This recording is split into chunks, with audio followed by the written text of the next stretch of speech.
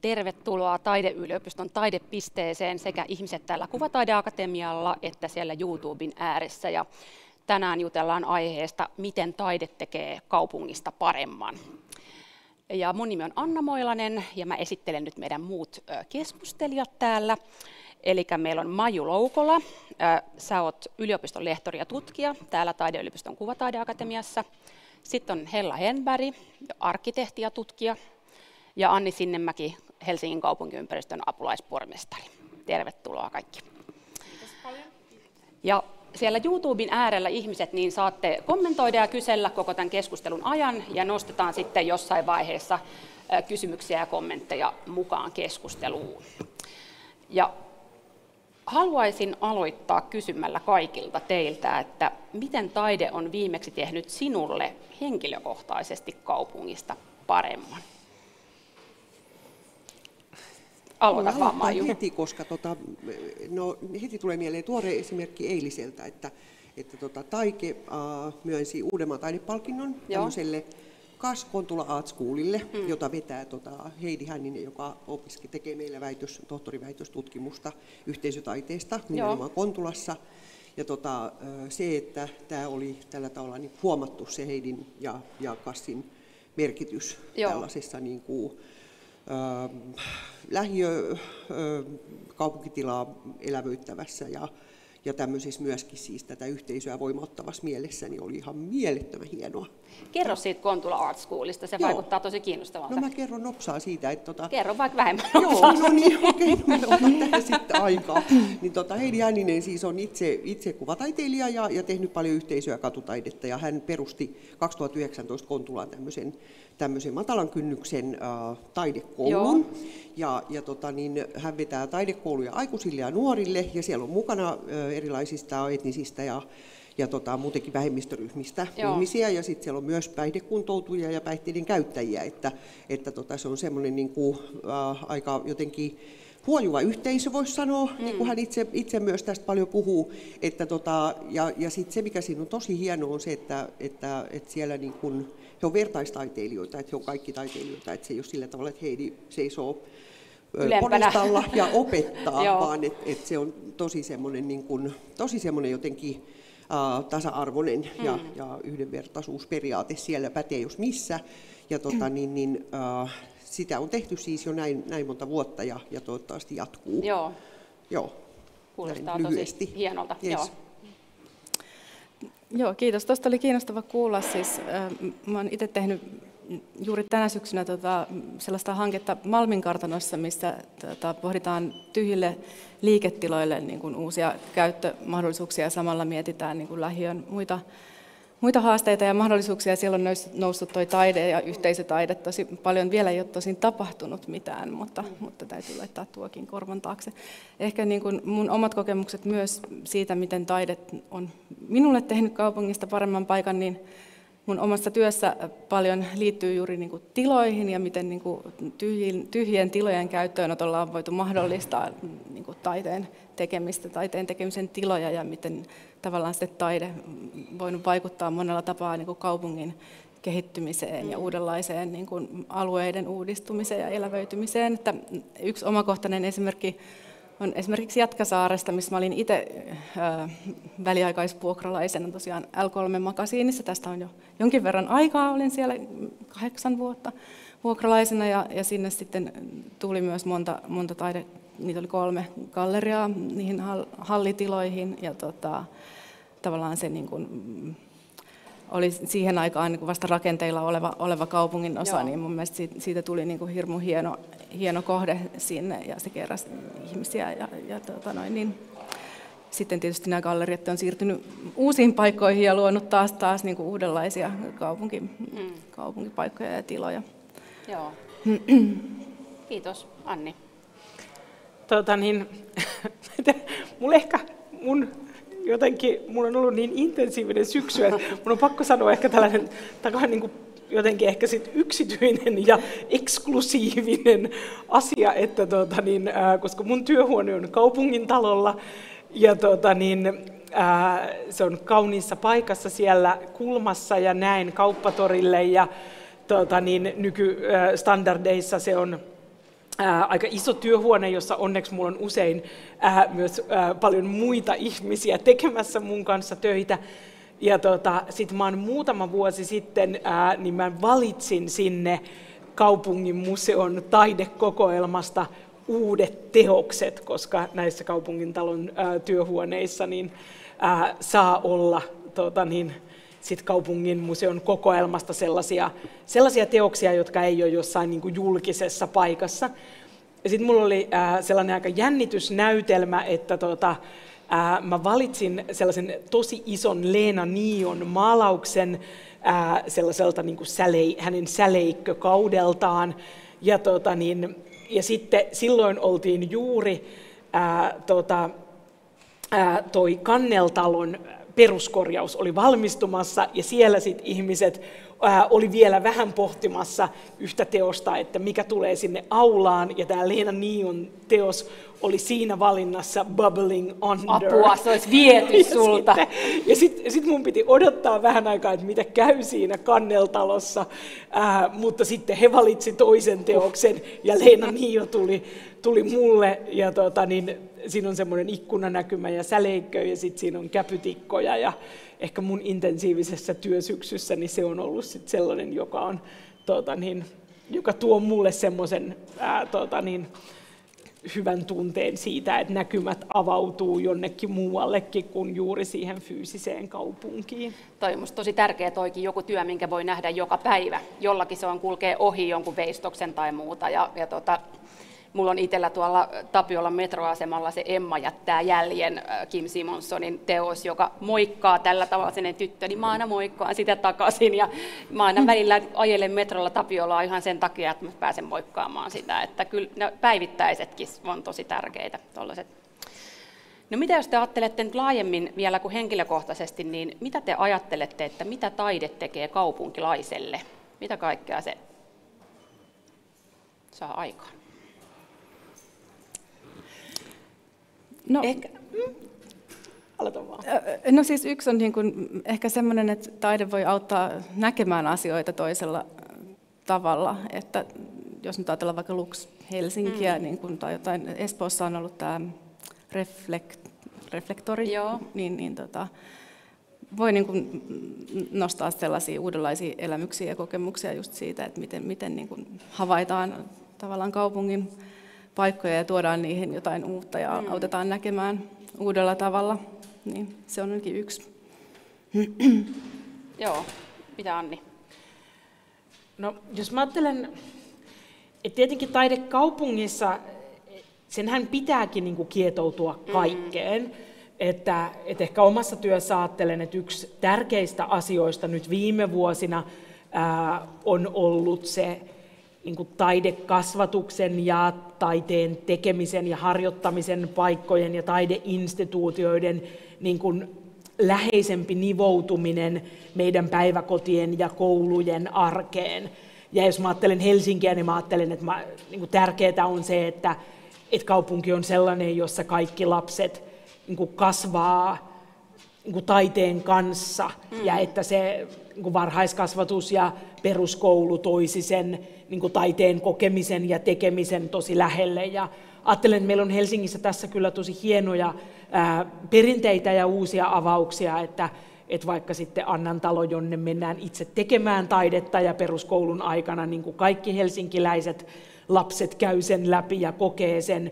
Ja nythän me ollaan tehty sitten semmoinen ratkaisu, että aikaisemmin ää, vähän ehkä satunnaisesta ja välillä toimineesta kulttuurin kummilapset toiminnasta, niin sitä on laajennettu niin, että nyt sitten kaikilla lapsilla, jotka syntyy Helsinkiin, niin on, on joku kummi-instituutio, ää, joka ottaa haltuunsa ja kutsuu lapset taiteen ääreen ja siellä on niin kaupungin orkesteri kuin sitten vaikka meidän teattereita, mm. jotka, jotka ottaa lapsen mukaan. Ja ajattelen, että semmoiseen helsinkiläiseen filosofiaan, niin sopii tosi hyvin se, että, että tällaiset asiat tehdään niin, että ne koskettaa niin kuin jokaista koululaista, eikä, eikä vaikka vaan semmoisia kouluja, missä opettajat on erityisen aktiivisia, niin, niin, tota, niin ajattelen, että se ei ole niin kuin julkisessa tilassa olevaa taidetta, mutta se on tavallaan meidän niin kuin, ää, demokraattisen mm. kaupungin ää, Ulot- niin ulottuvilla niin, rakennuspalikka, jotenkin. että, Mm. että se on tota, niin,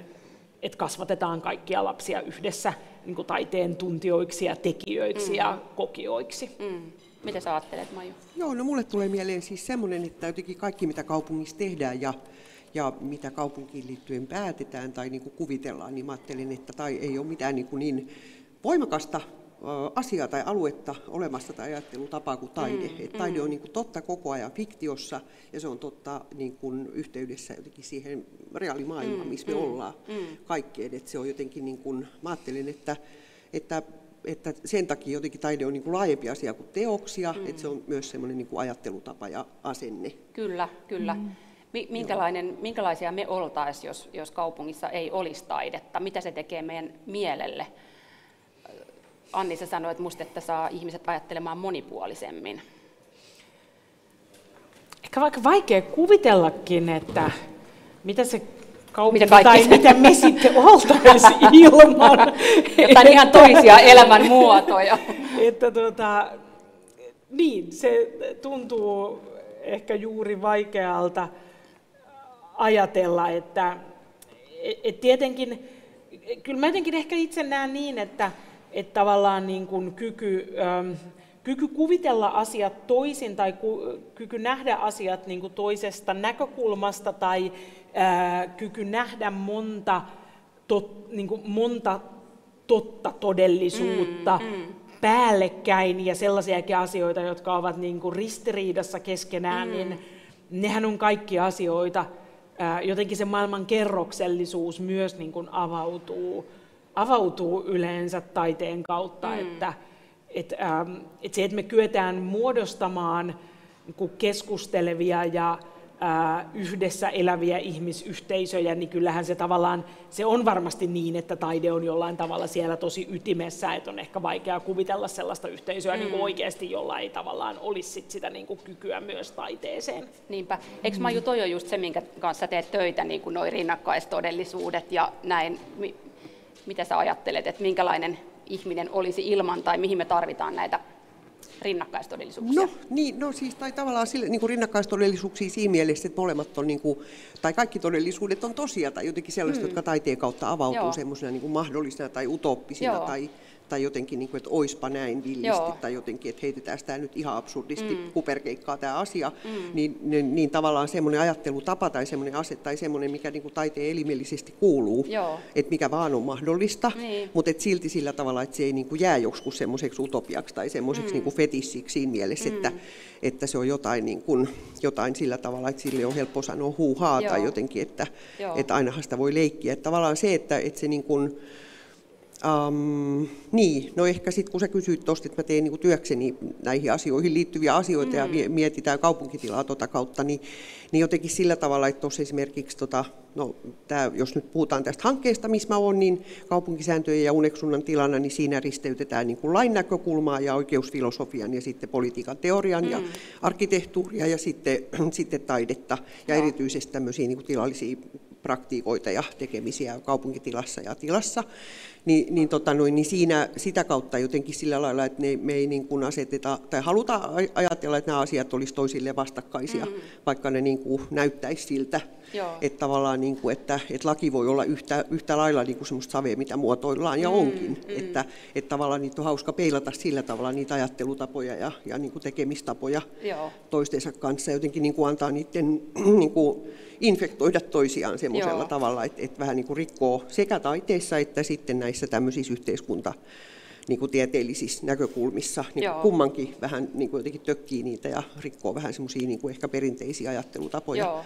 Että tota, vastasinkohan me sun Kyllä, kysymykseen. kyllä varmaan, joo. Joo. Toi, siis toi utopia-sana on niin jännä, kun säkin vähän sillain kyseenalaistat, että onko se sitten huuhaata. Mä itse ajattelen, että, että meidän pitäisi niin kuin koko ajan työskennellä utopioiden kautta, koska en mä usko, että mitään uutta oikeasti niin kuin muuten syntyy. Ja sitten mä näen, että siinä on taiteella just hirveän tärkeä rooli, että taide voisi olla paljon enemmänkin. Musta tuntuu, että taide tosi usein keskittyy dystopioihin valitettavasti, mutta taide voisi paljon enemmän keskittyä utopioihin, joista sitten vaikka päättäjät ja niin kuin tiedeyhteisö ja, ja niin kuin bisnestyypit ottaisi kiinni ja rupeaisi tekemään niitä todeksi. Mitä sä ajattelet, Anni, että millä tavalla utopiat voisi olla, tai ovat jo kehittämässä kaupunkia, taide, taideutopiat?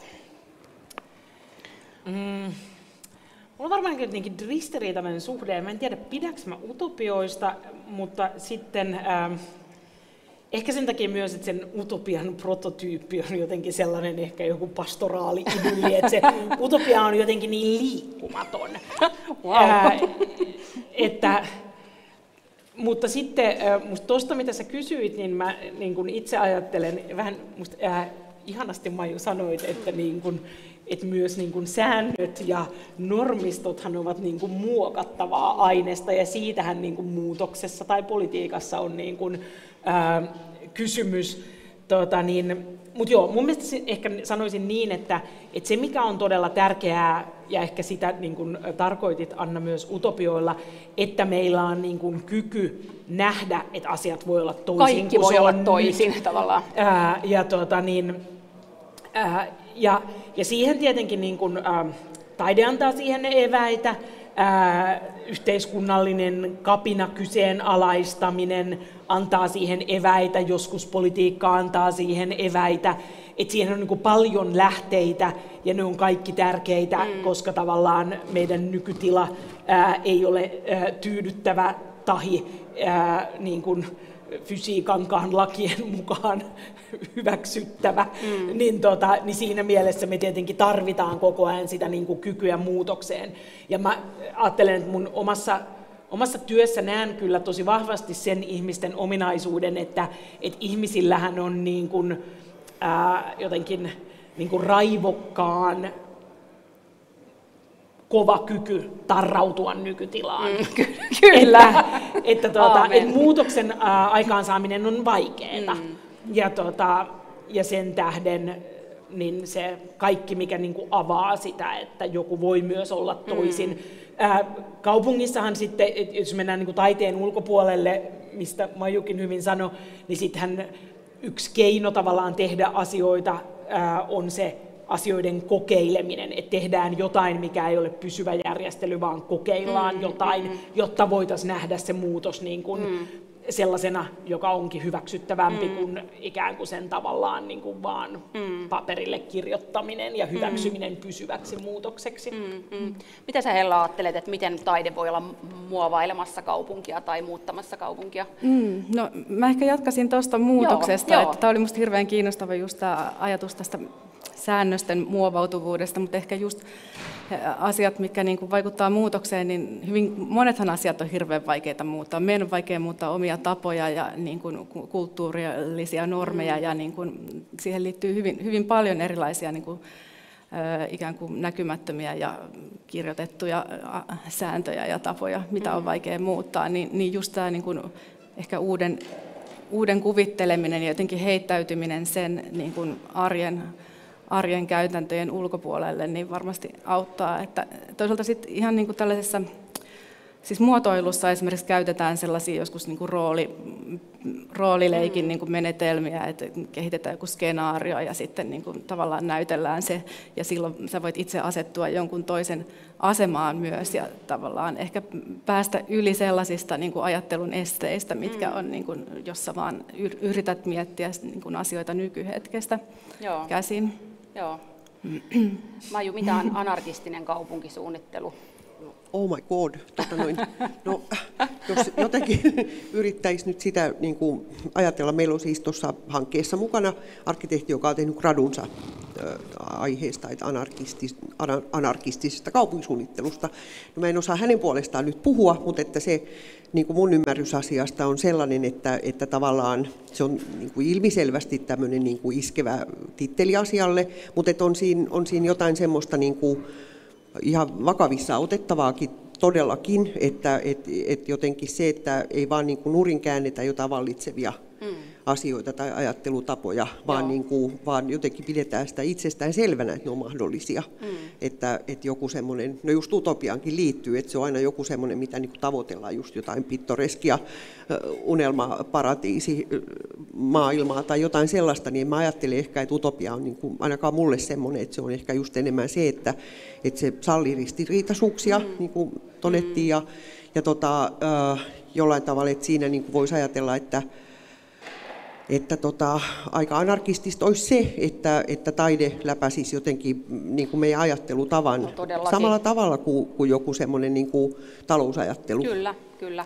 Et se, se on niin kuin aika, aika läpinäkyvästi tullut semmoiseksi niin kuin peruskallioksi, kyllä. Ja jonka siis, jälkeen vasta tulee sitten muut asiat. Kyllä, ja ehdottomasti kaikessa uuden luomisessa kannattaisi käyttää niin kuin taiteen menetelmiä, koska kun tehdään per, niin kuin muunlaista kehittämistä, niin siinä on aina se suunnitelma jo valmiina, jolloin se lopputulos on myös vähän niin kuin määritelty ennalta, niin mm. taiteessa on ehkä enemmän puhdas paperi.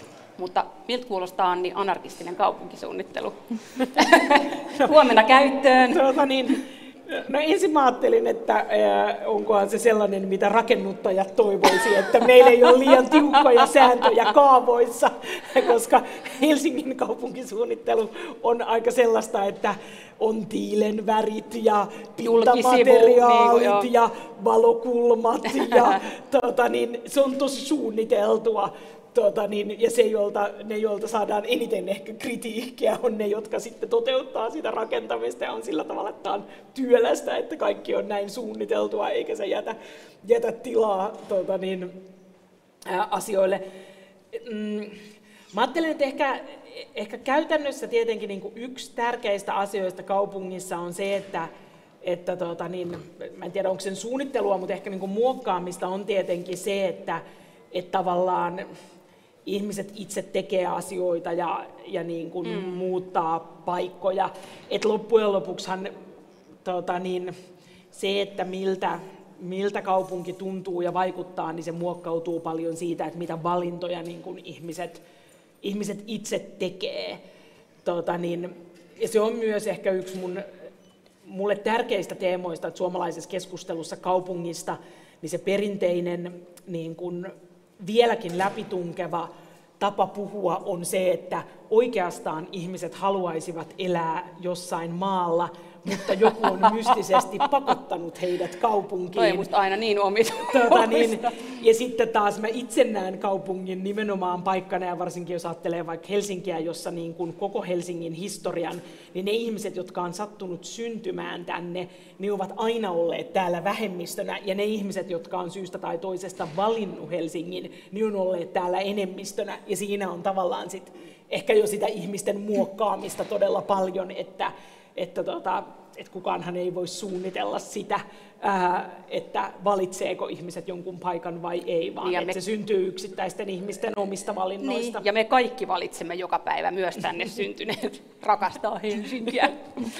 tota, Hella, sä sanoit, että, että monesti taiteilijat on ne, jotka ensimmäisenä ottaa haltuun niin kuin muutoksessa olevia tiloja tai vähän niin kuin mm. autioituneita tiloja. Ke- mm. Kerro siitä, se on tosi mielenkiintoista. No joo, siis tätähän on nähty niin kuin maailmalla hyvin monissa paikoissa, ei vain Suomessa, vaan niin kuin Euroopassa niin kuin esimerkiksi kaupunki, jossa niin kuin teollisuuden muutokset on aiheuttanut sitä, että, että tilat tyhjenee ja mm. kaupungin niin kuin alueita muutetaan, niin usein niin kuin taiteilijat ja kulttuuritoimijat on niin kuin ensimmäisten joukossa tavallaan mm. siinä niin kuin tuomassa, ottamassa tilat haltuun ja niin kuin tavallaan tuomassa uudenlaista toimintaa ja uudenlaista identiteettiä alueelle, joka sitten ruokkii niin kuin myös muuta ja kutsuu sinne niin kuin muunlaista mm. porukkaa ja, ja sitten siitä alkaa niin kuin kehkeytymään monenlaista, jos, jos tämmöiselle annetaan mahdollisuus. Mm. Että tota, niitähän nyt vaikka mitä mitä esimerkkejä ähm, Helsingissä, tietysti kaapelitehdas on yksi semmoinen mm. niin kuin, jo hyvin vakiintunut, äh, monesti nämä on niin kuin väliaikaisia tiloja ja, ja tuota, näin, mutta kaapelitehdas on ehkä hieno esimerkki siitä, miten niin kuin, tämmöisen taideyhteisön voimin saatiinkin niin kuin säilytettyä esimerkiksi rakennus ja siitä syntyi niin kuin ihan uudenlainen maamerkki ja paikka, kaupunki, joka on ollut nyt jo kymmeniä vuosia. Paljonko siitä nyt tulee 90-luvun alusta? 30, 30 vuotta, tai vuotta, joo, joo. aika kauan. Ja se on ja... uskomatonta kuunnella niitä ekojen tyyppien tarinoita, mm. kuin Stefan Bremer ja Kirsi mm. Monni ja muut, jotka on ollut siellä niin kuin alusta mm. lähtien, niin se on ollut todellista mm. tota, anarkistista kaupunkisuunnittelua ja tilan niin. haltuunottoa niin. nimenomaan. Joo. Joo. Mutta meillähän oli, mä olin aikoinaan siis Kalasataman väliaikaiskäyttöhankkeessa mukana, niin siinäkin oli niin taiteilijat oli ensimmäiset toimijat, joita siinä kyllä kutsuttiinkin. Se oli ollut niin kuin alun perin tavallaan yleisöltä suljettu alue, niin se ei ollut hirveän niin kuin sellainen edes tunnettu, tai se ei ollut mm. ihmisten niin kuin mielikuva kartallakaan, mutta tota, sinne niin kuin tuli Kuvataideakatemian opiskelijoiden projekteja ja, ja erilaisten niin kuin taiteilijoiden teoksia sinne kaupunkitilaan ja, ja se oli tavallaan yksi tapa myös, niin kuin mikä houkutteli ihmisiä niin kuin mm. tulemaan kokemaan sen niin kuin uuden asfalttikentän mm. siellä ja, ja sitten tota, synnyttää taas paljon muuta Joo. toimintaa. Joo.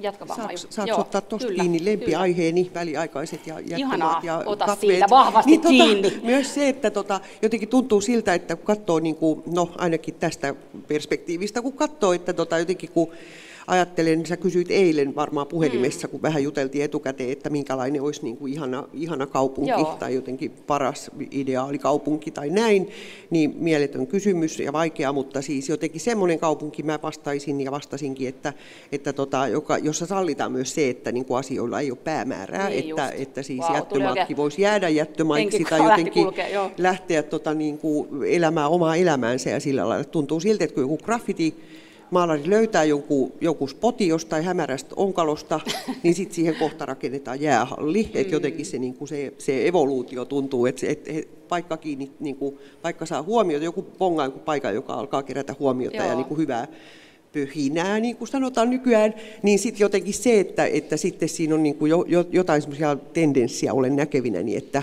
että sitten vaikka Suvilahti mm. tai näin, niin, niin tota, niin, niin jollain tavalla se, että myös kaupungin keskiytimestä toivoisi olevan mahdollisuus semmoiselle niin kuin, semmoiselle jotenkin orgaaniselle tilalle, mm, joka mm. jotenkin elää niin kuin semmoisen niin kuin kansalaisaktivisminkin niin, niin. voiminta jotenkin erilaisina yhdistelminä. Mm. Ja tuollaisia kai on jossain Amsterdamissa ja muualla semmoisia niin community houses, missä niin kuin tapahtuu, tapahtuu vaikka mitä. Mutta tota, niin, niin, ehkä tuosta vielä ottaisin niin kiinnittää väliaikainen tila ja tavallaan se, että annet, on mahdollista ottaa tila haltuun, niin, niin sehän on just mahdollisuus semmoiselle moniäänisyydelle ja siinä tavallaan ehkä tulee joku semmoinen mm. tietynlainen anarkistinen Joo. piirre, kaup- ei ehkä kaupunkisuunnittelu, vaan kaupunkitekeminen Joo. kaupunkitoteutus. Niin kuin, kaupungin tekeminen, on, kaupungin tekeminen, joo. Tota noin, niin, koska tavallaan meidän niin kuin, kuitenkin se julkinen tila, vaikka missä liikutaan, niin on, on niin kuin tietyin ehdoin suunniteltua mm. ja, ja niin kuin siinä on kiinteistösijoittajat mukana ja on niin kaupallista tilaa ja tavallaan on ehkä tietyt sellaiset säännöt, mitkä koetaan, että miten mm. ollaan, mutta sitten tavallaan jos on vapaampi tila, niin siinä on niin mahdollisuus erilaisille äänille mm. tulla kuuluville. Mitä te ajattelette, että ajaksitte raha pois tavallaan, jos taiteilijat menee ja ottaa jonkun tilan haltuun, niin onko se aina niin kuin väistämätöntä, että sitten raha karkoittaa heidät jossain vaiheessa, vai onko tehty sellaisia, että tavallaan kaupunki tai valtio on tukenut semmoista va- valtaustoimintaa? Tota, mä ajattelen, että ehkä se dynamiikka on myös vähän sellainen, että, että tavallaan sen tilan haltuunottoon ehkä myös tarvitsee vähän niin kuin uutta tilaa. Että, että tietyllä tavalla kaapeli ei ole sama nyt, kun se on ollut mm, silloin. Niin, silloin. Niin. Että tietyllä tavalla... Äh, ja että kaapeli on hieno, koska se on äh, niin kuin rakennuksen kauneus, mutta nyt sinne on tehty tanssin talo. Että tietyllä tavalla ehkä myös mä ajattelen, että se ominaispiirre on se, että, että että kaupungissa on aina joku evoluutio mm. käynnissä, joista osa voi olla niin kuin ikään kuin taloudellisen arvon ja kiinnostavuuden ää, nousua semmoisella niin kuin klassisella New Yorkilaisella dynamiikalla, mm. että ensin tulee taiteilijat ja ää, sitten tulee bohemit, porvarit ja mm. sitten tulee rikkaat. Tuota, niin, ja sitten no, sit tulee ää, lamakausi ja arvot voi romahtaa. Että, kaikki että lähtee uudestaan. Niin, kaikki voi lähteä uudelleen että tota, niin, muistan itse hyvin 80-luvun lopun keskustelun kallion gentrifikaatiosta, joka oli silloin juuri tapahtumassa, mutta tota, 91 se keskustelu oli päättynyt mm. toistaiseksi. Että, mm. et tietyllä tavalla mä myös ajattelen, että, että ikään kuin että vaan jättämällä joku asia, niin se ei oikeastaan pysy samanlaisena. Että et myös sen ikään kuin niiden ihmisten, joilla on kyky löytää jotain uusia paikkoja, niin heidän tehtävänsä on myös mennä mm. uusiin paikkoihin ja ikään kuin ava, avata niitä, että jos mm. joku niistä on täsmälleen ää, ikään kuin samalla sijainnilla, niin se ei ikään kuin pysy mm. välttämättä mm. samanlaisena niin kuin mm. kuitenkaan. Mutta että musta se, sehän on niin kuin tosi dynamiikka, että jossain paikoissahan ikään kuin, ää, niin kuin taloudelliset arvot ovat niin korkeita, että ää, niissä kaikki eivät pysty olemaan. Et mm. Meistä kukaan ei voisi ehkä mennä ja vuokrata toimistoa Pohjois-Espalta. Mm. Mm. Että tota, ja et ehkä sitten se, sen toiminnan kannattaakin mennä jonnekin, tai ainakaan sanotaan, että se ei välttämättä ole niin julkisen vallan tehtävä käyttää rahaa sen niin kuin asian saamiseen Pohjois-Espalta, vaan, vaan tietyllä tavalla sitä niin kuin yhteistä rahaa kannattaa käyttää sellaisiin paikkoihin, mistä siitä on eniten hyötyä ja sitten antaa ikään kuin itsestään pyörivien asioiden hmm. niin kuin olla hmm. siellä omassa sfäärissään. Mä näin tuolla Rakkautta ja anarkiafestareilla tosi mielenkiintoisen dokkarin, tällaisen Tramps, joka kertoo niin kuin Briteissä tilanteesta 80-luvulla. Ja tota, siinä niin kuin annettiin ymmärtää, että, tai, että taideopiskelijoille silloin vähän niin kuin jopa tavallaan maksettiin siitä, että ne suostu opiskelemaan tai rupesi ryhtyä, uskalsi ryhtyä opiskelemaan taidetta. Ja silloin oli myös sellainen tilanne, että heidän annettiin tavallaan ottaa niin kuin semmoisia kämppiä kautta studiotiloja niin kuin vähän niin kuin vallata tai ottaa haltuun. Ja se oli todella mielenkiintoinen, koska sieltä niin kuin nousi kaikki Boy Georgeista lähtien, ja siinä haastateltiin tosi paljon näitä tyyppejä, jotka oli silloin nuoria ja mukana siinä. Ja he sanoivat, että, että, että se tavallaan niin kuin, se valtava niin kuin kulttuuri ja luovuuden niin kuin kukinto mahdollistui sillä, että heidän ei tarvinnut miettiä rahaa. Ei he toki ollut niin kuin rikkaita missään nimessä, mutta kuitenkin, että he pystyivät luomaan ja tekemään ja elämään. Ja, ja he sanoivat, että he ei ymmärrä, miten taiteilijat nykypäivänä edes pystyy tekemään duunia. Että Lontoossa ei ole kenelläkään varaa niin kuin, tota, edes asua tai, tai tehdä töitä, ja että aina pitää miettiä sitä rahaa ensin, ja se tavallaan tappaa sen niin kuin tekemisen. Niin mitä te ajattelette, että miten kaupunki tai valtio voisi niin kuin, tavallaan olla ton tyyppinen, tu, mä vihan sana mahdollistaja, mutta, mutta tiedättekö te niin kuin tukea ton tyyppisten uusien kulttuurien syntymistä?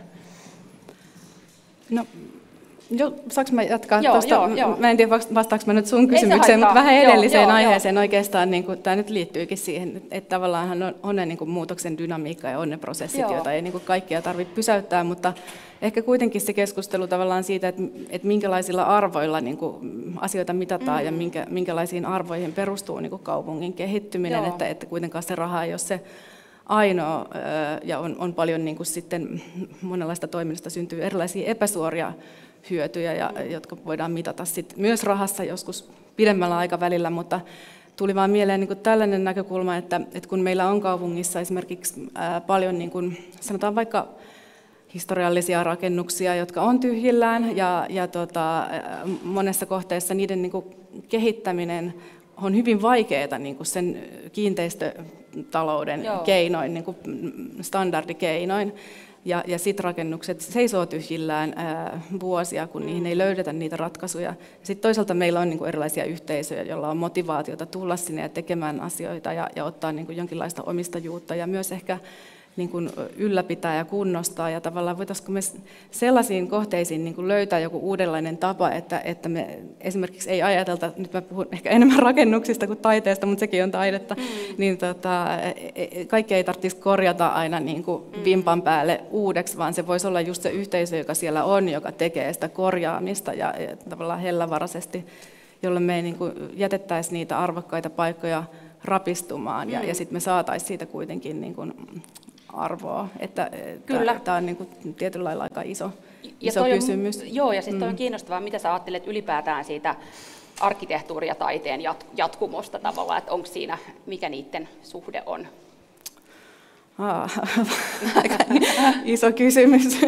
Siitä voisi varmaan lähestyä hirveän monesta näkökulmasta. Arkkitehdithän itse ajattelee, tai kun mä aloitin opiskelemaan arkkitehdiksi, niin mulle sanottiin, että arkkitehtuuri on kaikkein taite- taiteiden äiti. En mä tiedä, onko se nyt ihan niin, niinkään, mutta tota, en tiedä, onko muilla, muilla ajatusta Joo. tähän. Tuota, mulla oli montakin kommenttia. No siis omasta työstä ja omasta pitkästä kokemuksesta niin voi sanoa, että et, äh, en usko, että suurin osa kaupungeista, mutta sanotaan, että Helsingin kaupunki, jonka tunnen parhaiten, niin että et meillähän päätöksiä ja asioita ei tehdä niin kuin talous edellä. Että tota, et sanoisin, että päätökset syntyy niin kuin monien tavoitteiden ja arvojen mosaiikista, että, että tota, joskus tuntuu, että harva sitä taloutta niin kuin välillä ajatteleekaan, että, että sanotaan, että se on musta välillä pikemminkin lapsipuolen asemassa kuin, niin kuin kovin korostuneessa roolissa ikään kuin meidän päätöksenteossa. Tai, mm. Ja sehän on tietenkin hyvä asia, mm. koska se ei ole niin kuin, äh, ainoa arvo, mutta joskus olisi hyvä osata myös verrata asioita mm. ikään kuin mm. siinä mielessä, niin tota, että sillä tavalla no, että se on kokemuksen syvällä rintaäänellä, että raha ei kyllä ohjaa mm, Helsingin joo, kaupungin joo. päätöksentekoa tai, talo, tai taloudelliset arvot, että mm. kyllä ne niin kuin isot ää, tota niin, ikään kuin päätökset ja tekijät on, on niin kuin muut. Tota niin, ehkä tosi konkreettisesti tähän, mitä Hella sanoi tyhjistä tiloista, sehän on meillä niin kuin, ä, kaupungilla tosi iso päänsärky. Ä, siinä ehkä musta ne asiat ei ole niinkään myö, niin kuin, tavallaan äh, ehkä se niin kuin kiinteistötaloudellinen kannattavuus ei ole musta meille kaupunkina ollut se suurin ongelma, vaan tietyllä tavalla sellainen niin kuin, äh, kompleksi niin kuin sääntöjen ja vastuiden ää, niin kuin solmuksi muodostuva paniikki, jossa loppujen lopuksi ikään kuin syntyy tilanne, jossa on helpompi olla ikään kuin tekemättä jotain päätöstä tai liikettä, kun löytää se taho, joka ottaisi vastuun mm. ää, vaikka mm. niin kuin huonokuntoisesta rakennuksesta tai epäselvästi niin kuin tutkitusta rakennuksesta, mm. ää, tai sitten vaan vaikka sen niin kuin väliaikaiskäytön niin kuin manageroinnista. Mm. Että tota, että taloudellisesti hän se ei niin kuin, ää, useinkaan ole mitenkään niin kuin järkevä asia pitää rakennusta tyhjillään ja se ei ole rakennuksen kannalta hyvä asia, mutta että mä näkisin, että, että se minkä takia meillä on syntynyt sellaisia tilanteita, että meillä on niin kuin tyhjiä rakennuksia, niin se on tavallaan vähän sellainen niin kuin pienten purojen virta, josta syntyy sellainen niin kuin jähmettyminen, mm. koska vastuunottajaa ei ole ollut. Mutta tota, se on toisaalta nyt asia, missä me ollaan nyt ö, erityisesti viime aikoina tehty paljon töitä ja ollaan mun mielestä ehkä pääsemässä semmoiseen ratkaisuun, että saadaan niin kuin oikeanlaiset palikat paikalleen ja, ja tota, niin, toimijat sillä tavalla, että saadaan saadaan ehkä tähän parempi malli. Ja meillä on ollut myös tota niin, no, joillekin kaupungin koneistossa myös ehkä traumaattisia, mutta myös myönteisiä esimerkkejä tota niin, ää, vaikkapa tilajakamosta, joka, on, ää, tota niin, joka käytti hyvin menestyksekkäästi ää, purettuja kaupungin tota niin, ää, toimistorakennuksia ennen kuin ne purettiin ja nyt ovat sitten ää, niin kuin Vuosaaren lukiossa.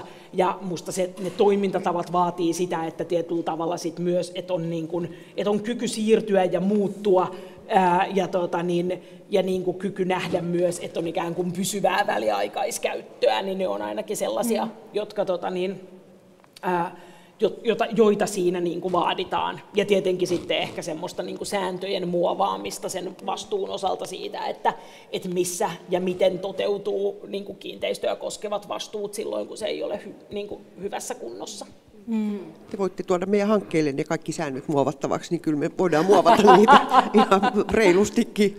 Niin tota, tuli mieleen tästä vielä siis tästä, että kun puhutaan, että keskusta tyhjenee, liiketilat mm, tyhjenee ja kaikkea joo. sitä tendenssiä nyt niin kuin huudetaan isoilla otsikoilla joka puolella ja näin varmasti onkin, niin, niin tota, tuli mieleen niin se asia, että um, että, että siis jotenkin, että jos minulta tai muutamalta muultakin kysyttäisiin, niin, niin jollain tavalla se semmoinen niin kuin, kansalaisten tai asukkaiden, kaupunkilaisten vastuuttaminen myöskin. Meillä on hirveästi semmoisia niin toimivia, osaavia, päteviä yhteisöjä, niin kuin monesti myös taiteilijalähtöisiä tai vetosia muitakin, niin, niin puhun ehkä sitten tämmöisistä niin kuin kolmannesta sektorista tai näin, että tämmöistä kansalaistoimintaa ja muuta, niin, niin jollain tavalla niin kuin, tavallaan voisin ajatella, että on hyvä kuulla, että, että tämän asian kanssa tehdään nyt paljon töitä, että jollakin tavalla, että se kevenisi se semmoinen, niin kuin sanon suoraan sanan, byrokratia tässä, että, että jollain tavalla semmoista väliaikaista käyttöä tai semmoista, että se, se niin kuin,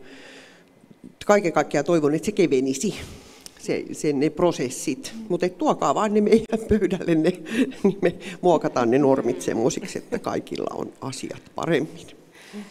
Eikä se varmaan ole kyse edes pelkästään normeista, vaan just siitä hallinnon rakenteesta ja ihmisistä, mm. jotka, jotka toimii, mm. kuvittelisin mm. näin, tai organisaatiosta. Mm.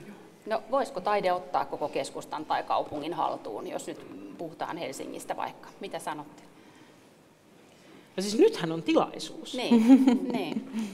siihen kannattaa tarttua. Niin, kun siis, tota, siis HAMhan on tota, koko kaupungin kokoinen taidemuseo, niin mun mielestä on tosi kiinnostavaa miettiä, että mitä kaikkea se voisi vielä enemmän tarkoittaa kuin mitä se nyt tarkoittaa. Siis sillä, että olisihan se niinku aivan fantastista, että tota, edes keskustan valtaisi taide. siis tota, mä en tiedä, onko kukaan teistä käynyt siellä Nantesissa, tuttavallisesti Nantin kaupungissa Ranskassa, jossa kuulemma on siis tapahtunut viime vuosikymmenien aikana tällaista, että, että ne ihan, ihan siis päämäärätietoisesti ovat niin kuin tavallaan hukuttaneet koko kaupungin taiteeseen. Niin, niin tota, en tiedä muita esimerkkejä tästä, mutta eikö se olisi aika virkistävää Helsingissäkin? Mm-hmm. Mm-hmm. En ole käynyt Nantin mm. kaupungissa, kuulostaa tota, niin, äh, huukuttelevalta. Ja tota, ja sitten myös ajattelin ehkä sitä nyt, kun on keskustelu näistä liiketiloista, niin eiköhän nyt Kuvataideakatemian opiskelijoiden kannattaisi marssia sisään tai ehkä Ilmarisen kautta. Ilmarisen tuota, kautta sisään. tuota, niin, sisään ja olla sillä tavalla, että meillä on paljon annettavaa näille liiketiloille sillä aikaa, kun te pähkäilette niiden oikean Joo, vuokratason kanssa. Rauhassa. Että me voimme avata ne huukuttelevalla tavalla toistaiseksi. Kyllä, tosin like ehkä ilman, ää, ilman vuokrakorvausta, mutta tota, niin, ää, kuitenkin jotain antaa. Sielullinen korvaus. Sielullinen korvaus, niin. Kyllä. Onhan kysymys meidän kaikkien eläkerahoista. To- niin sie- sielullinen korvauskin on sille ihan hyvä. Kyllä, kyllä. Sitten ehkä saanko jatkaa Joo. vielä tuohon, tota, että tota, se, että, että myös liittyy siis taiteeseen sillä tavalla kaupungissa ja miten taide jos mietitään sitä, että muuttaa tai voi muuttaa kaupunkitilaa, niin se, niin kun, se että on tyhjillä olevia liiketiloja ja sitten taiteilijaporukat tai jengit tai yhteisöt tai yksittäiset on nähnyt siinä tilaisuuden, että nyt mä voin tässä niin kuin hakeutua tämmöiseen paikkaan ja tehdä paitsi sitä omaa taidetta, mutta myös sillä tavalla, että se niin kuin säteilee siihen, siihen yhteisöön tai siihen kaupungin osaan tai mikä onkaan, niin, niin tavallaan se on myös luonut paljon semmoisia niin uudenlaisia taiteen tekemisen muotoja, jotka on niin kuin yhä enemmän kollektiivisia mm. ja, ja mm. jollain tavalla myös ne, siellä on, niin kuin, mä mainitsen nyt esimerkkinä MIF, Museum of Impossible Forms, mm. joka on siis taiteilijalähtöinen tämmöinen kollektiivi, joka toimii kans Kontulassa ja, mm. ja Kontula vetää puoleensa, niin, niin tota, äh, siihen liittyy kaiken monen näköistä toimintaa lapsille ja nuorille ja sitten leffa-screeningeja ja, ja seminaareja ja keskusteluja. Mm. Ihan hirmu elävä yhteys. Mm, Tämmöinen niin Pale, Pale de Tokio, joka Pariisissa on, että tavallaan vähän niin kuin samanhenkinen. Joo, kyllä. Ja tämmöisiä alkaa tulla sitten ja on mm. tullutkin jo mm. myös tänne meidän tota, Pohjolaan. Joo. Mm. Jyväskylässä on ollut, en tiedä onko enää tämmöinen Äkkigalleria-niminen porukka, jotka, siis tästä oli kymmenen vuotta, kun mä kuulin, että en tiedä onko, onko se enää, mutta että Jyväskylässä on ollut paljon tyhjää liiketilaa kaupungin keskustassa ja he on niin kuin perustaneet gallerioita aina vaihtuviin tyhjiin tiloihin ja kiertänyt siellä niin kuin kaupungin keskustassa. Mm. Tota, jotenkin tästä tulee niin kuin mieleen, että että kun nyt keskustellaan muutenkin tavalla jotenkin siitä, että miten ydinkeskustan rooli muuttuu, niin ehkä se taide voisi olla siinä niin kuin luomassa sitä Juuri keskustelua näin. jotenkin Joo, uudella tavalla. Kyllä, tai tekemässä sitä kaupunkia. Niin, niin kyllä. Hei, miten, tota, miten taide voi tehdä kaupungista paremman eri ikäisille ja eri taustaisille? Vähän tässä niin kuin kaikkien Helsinki, Helsinkiä rakentaa. Mitä ajattelette? Mä ehkä ajattelin nyt yhtä esimerkkiä, joka joka tavallaan on ehkä tämän keskustelun ytimessä, vaikka ei sekään ole niin kuin ainoa tapa, mutta tuota, tässä ää, Kalasatama oli jo mainittukin, mm. että, että, tota, että heillä on ollut siellä silloin aluksi, mutta mä, mä itse ajattelin, että meillähän on Helsingissä sellainen periaate ollut, niin kuin tämä prosenttitaiteen mm. periaate, ja sehän on, ää, että sen idea on se, että rakennuttajilta kerätään rahaa silloin, kun he rakentaa, mm. ja sitten se raha tulee kaupungille, joka sitten ikään kuin hankkii taidetta siihen Joo. kaupungin osaan, ja tota, niin, ähm, me ollaan uudistettu tätä periaatetta nyt sillä tavalla, kun se on ollut tyypillinen niin uusille alueille, niin nyt me ollaan äh, lavennettu sitä periaatetta niin, että ne alueet, jotka meillä on määritelty kaupunkiuudistusalueeksi, Malmin kartano esimerkiksi siinä mukana, niin ne tulee tähän tavallaan niin kuin samaan ideaan mukaan.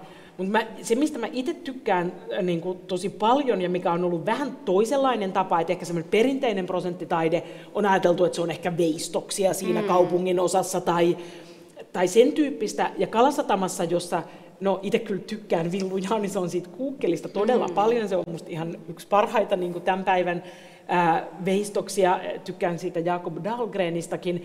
Mutta Kalasatamassahan sit myös on ollut se idea, että noin kolmannes siitä taiteesta onkin niin kuin ohimenevää. Mm. Että, että se on ollut sirkon esityksiä mm. ja että et se on ollut jotain, mikä niinku kokoaa ihmiset yhteen ja toisaalta ehkä kutsuu myös ihmiset niinku muualta kaupungista juuri siihen kaupungin osaan. Kalasatamassa on ollut paljon muitakin juttuja, että siellä on ollut tosi paljon kaikkea kokeiluja, mm. että siellä ihmiset on voinut olla sitten, ne on voinut ilmoittautua johonkin ää, nettisovelluskokeiluihin siitä, että olen kotiäiti ja sitten menen johonkin mm. ryhmään, että onko täällä muita, joiden kanssa tehdä asioita. Että se on ollut semmoinen niin kuin, pilotoinnin megakeskus kaiken mm. kaikkiaan.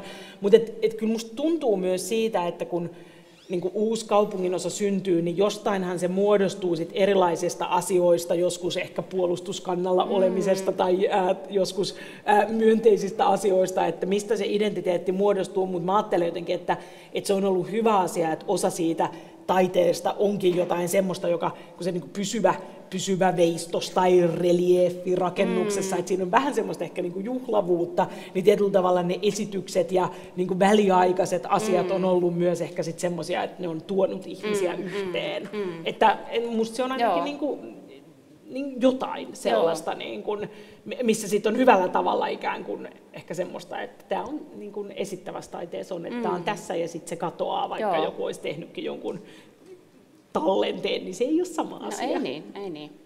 Mitä te ajattelette? No, siis tulee mieleen tämä yhteisötaide, mistä tässä onkin jo puhuttu, että se on ehkä yksi sellainen keino kanssa, mitä mm. varmaan voisi enemmän käyttää vielä just siinä, että miten voida tuoda erilaisia ihmisryhmiä yhteen ja jotenkin sen tekemisen kautta niin kuin päästä, päästä sellaiseen uudenlaiseen yhteisöllisyyteen. Mutta tota, sitten myös, mitä Anni puhui tuossa alussa, niin kuin tästä tavallaan taidekasvatuksesta, niin kuin, miten tehdään se jotenkin kaikkien ulottuville ihan varhaiskasvatuksesta lähtien, niin se on kyllä minusta myös tosi tärkeä mm. ajatus ja se ei ehkä niin kuin, tai sitä varmasti niin kuin täytyy myös kehittää vielä, että mä luulen, että siinä on aika paljon eroja kuitenkin, että minkälaisia resursseja on käytettävissä mm. ja mikä on niin kuin, minkälaista koulutustaustaa on niin kuin vaikka varhaiskasvatuksessa työskentelevillä ja mm. mitä, miten saadaan niin kuin sitä osaamista, että sehän on niin kuin, äärimmäisen jotenkin, no siinä on varmasti niin kuin hirveän paljon hyviä, hyviä puolia, mutta mm. itselläkin on pieniä lapsia, niin, niin jotenkin tässä maailmassa, missä niin kuin virikkeitä on, on ja niin kuin, vaikka kuinka, niin se, että jotenkin keskittyy semmoisen tekemisen äärelle, niin se on mm. todella arvokasta. Ja, ja toisaalta sitten niin kun se, kun lapset kasvaa isommiksi, niin, niin se, niin kun, että minkälaisia harrastusmahdollisuuksia on sitten niin kun saatavilla tai kuinka saavutettavia mm on vaikka musiikkiharrastukset, niin, niin tota, sen jotenkin tekeminen ehkä vielä Joo. tasa-arvoisemmaksi. Joo. Joo, no tuli mieleen tuosta, kun sä sanoit, tai puhuttiin tästä varhaiskasvatukseen liittyvästä asiasta, niin tota, meillä on varmaan siis yhdet maailman parhaista opettajista ja, ja tota, kuvataideopettajat ja, mm. ja, ja muutenkin siis sillä tavalla, että et varmaan just sit se, että että tota, resursseihin taas tullaan ja näin edelleen, mutta sitten mun tuli mieleen pilvi, tuolla pilvitakalalla, sanoks mä nyt nimen oikein, mutta joka teki semmoisen niin taideintervention, että hän niin palkkautuu ö, isolle kansainväliseen yhtiöön töihin ja, ja meni sinne niin kuin olemaan tekemään taiteilijana töitä, Joo. eli miettimään, istui mm. toimistodeskissä ja, ja mietti ja, ja pyöritteli asioita ja katteli ympärille ja, ja sitten kesti aikansa ennen kuin ne, ne muut siinä avokonttorissa rupesi kiinnittää pikkuhiljaa huomiota, että mitä ihmettä toi tyyppi tuossa niin makaa tuossa tuolissa ja, ja niin kuin tuijottelee ja raapii hiuksia ja näin. Mutta siis tästä kaukaisesta polusta nyt tullakseni tähän varhaiskasvatusasiaan, niin jotenkin semmoinen niin kuin, residenssitaiteilija-asia tai joku semmoinen Joo. taiteilija myös niin kuin soluttautuisi erilaisiin Joo. paikkoihin. Että jos niin kuin taiteilija pitää vaikka matikan tunteja, niin se voi olla, että se näyttää toisenlaiselta Kyllä. ja voi olla ihan niin kuin mainio tapa. Kyllä. Mutta tota, tämä oli vähän kursorinen ehdotus, mutta et siis ihan vaan siis sillä tavalla, että, että jotenkin väärissä rooleissa, mulla on varmaan nyt mennyt ihon alle että meidän hankkeenkin niin kuin tiimoilla se, että sotketaan, sotketaan jotenkin koulutuksia niin. ja keskustelutapoja ja niin kuin tällaisia diskursseja, niin niin se on, on jotenkin ihan niin kuin vakavasti otettava Kyllä. asia mun mielestä. Kyllä, ja mun soluttautumisesta tulee mieleen, että kuka raivaa tilaa taiteelle, jotta se voi tehdä kaupungista paremman? Mitä te ajattelette? Kuka, kuka raivaa sen tilan? Pitääkö anarkistisesti soluttautua johonkin vai, vai miten se tapahtuu? No varmaan monia reittejä siis mm-hmm. samaaikaisesti. Että, että tota... Ilmarisen ovesta. No, se itse on kunkin tehtävä. Kyllä. Itse Joo. kunkin tehtävä. Joo. Tietenkin, ja ajattelen, että siis kaupungissa tietenkin niin kuin valtuustolla ja päätöksenteolla on niin kuin tosi iso rooli ja pitää tunnistaa se niin kuin vastuu siitä, mm. mutta, mutta se ei musta tarkoita sitä, että et ikään kuin, eihän se valtuusto ja päätöksenteko tyhjiössä elä, mm. että sehän tarvitsee niin kuin virikkeitä, sparrausta, ää, kritiikkiä, innostamista, ää, niin kuin toimijoita, että et sillä tavalla sitten, mm. tota niin, että musta niin kuin, taiteilijat, jotka ovat äänekkäitä ja menevät paikkoihin ja esittävät asioita ja, ja sittenhän se voi olla niin kuin, kuitenkin sit itse kunkin yhteisön mm. ää, niin kuin ro, rooli, ja, mm. rooli ja tehtävä. Mm. Tota niin, ja sitten tietenkin, että kuitenkin jos ajattelee, niin kuin Maijukin ehkä sanoi sitä, että meillähän, niin kuin, meillähän taiteilijat on... Ää, koulutettu hyvin ja ei taloudellisesti välttämättä kovin etuoikeutettu luokka, mutta analyysikyvyltä ää, niin kuin hyvät eväät mm, saanut, mm. että silloinhan musta niin kuin on velvollisuuskin niin kuin tehdä esityksiä ja mennä paikkoihin, ja kyllähän myös monet sit sellaiset ää, muutokset, ja missä taide on tullut mukaan, tota, niin, vaikka sitten niin kuin sosiaali- ja terveyspuolelle, niin niissähän on ollut paljon myös taiteilijoiden niin kuin, ää, omia aloitteita. Ja tavallaan, että, että jotkut asiat ehkä on ollut semmoisia hämmentäviä, mm. tavallaan on ollut myös semmoisia, jos on jotenkin niin kuin yhdistyy tietyllä tavalla tosi klassiset mm. kysymykset, että et, et niin kuin Shakespearein sonettien mm, lausuminen, mm, niin se muuttaa niin kuin vanhainkodissa – koko viikon toisenlaiseksi. Niin. Ja tavallaan kysymys on ikään kuin tosi klassisesta niin. taiteesta, eikä edes mistään niin kuin tavallaan... Niin kuin, Ei se tarvitse olla niin villiä aina. Niin, niin, niin, niin. niin että, että se voisi olla tietenkin, että, että monilla sitä aika perinteisilläkin asioilla mm. voi kuitenkin olla itse asiassa valtavan Todellakin. avaava rooli. Todellakin. Mm. Kuten että se bad bad boy olisi saanut jäädä siihen kauppatorille, se olisi ollut ratkaiseva. Hei, onko meillä kysymyksiä? Meillä on yksi. No niin, joo. Kyllä.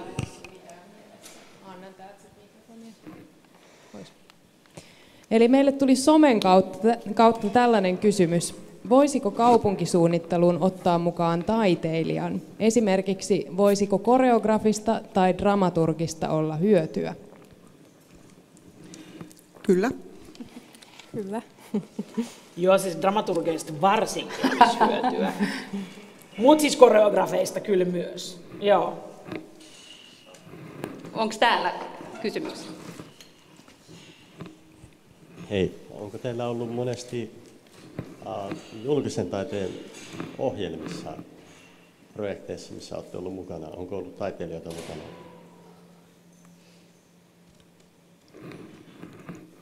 Joo, joo siis äh, mun mielestä ne, niin kun, ne porukat, jotka, jotka valitsee julkista taidetta, niin niistä niin kuin kohtuullisen iso osa on on itse taustaltaan aivan, taiteilijoita. Mietin tällä juuri tuohon äskeiseen kysymykseen, että eikö se monesti ole niin. Toisaalta ehkä voi olla kanssa enemmän ehkä arkkitehtiosastoa enemmän kuin sitten jotain tanssijoita tai koreografia.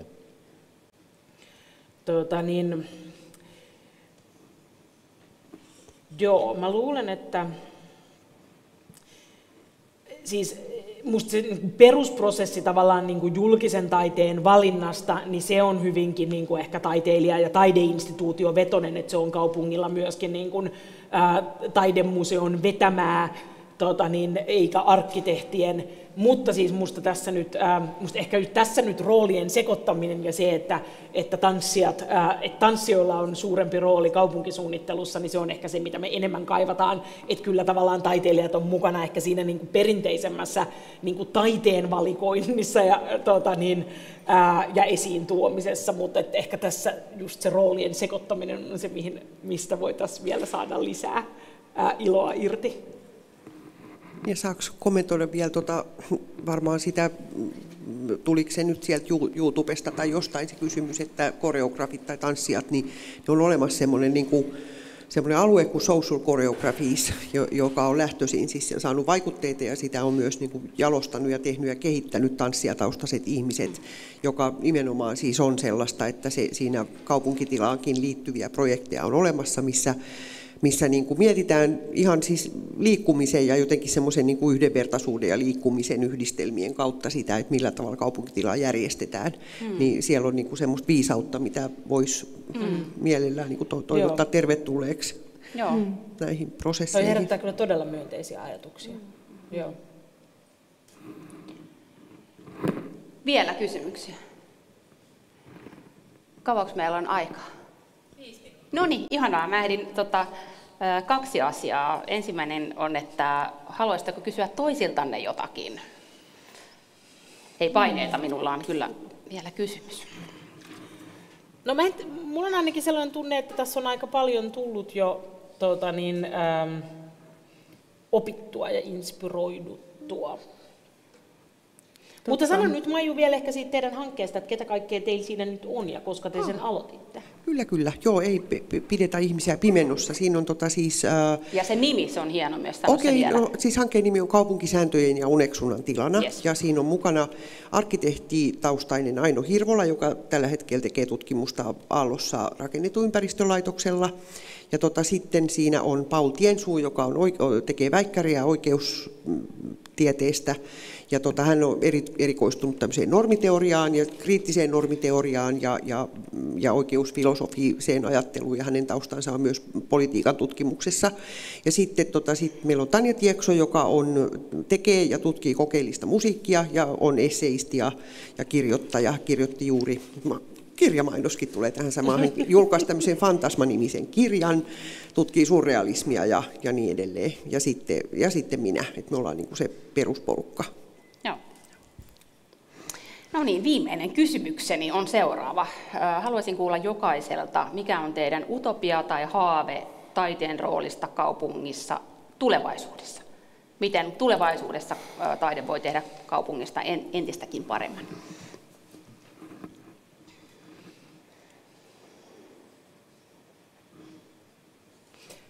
Ainakin niin kuin, mä tavallaan haluaisin haaveilla jostain sellaisesta, ja haaveilenkin, jota mä en itse osaa sanallistaa enkä selittää täsmälleen, koska mä mm. haluaisin, että tulisi sellaisia asioita, joita mä en nyt osaa ajatella ja visualisoida mielessäni mm. tai, tai kertoa täysin, ää, koska mä haluaisin, että se olisi jotain, mitä mä en nyt edes mm. osaa niin mm. odottaa. Ää, mutta mä ajattelen, että mä kyllä toivon, että se menisi sellaiseen suuntaan, ää, tai löytyisi jotenkin ehkä sellaisesta suunnasta, joka...